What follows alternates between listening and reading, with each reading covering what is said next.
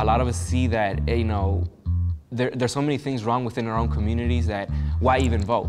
The, the people in power aren't really addressing our needs. If we don't have somebody in power that's Latino, why, why are they even gonna pay attention to our community? When the reality is that um, we, we need to get our, our voice heard. We need to go out there and, and vote and use that as our voice and be leaders within our community so that we get our entire community involved and educated about our issues. Because that's the only way that we're gonna progress as a community.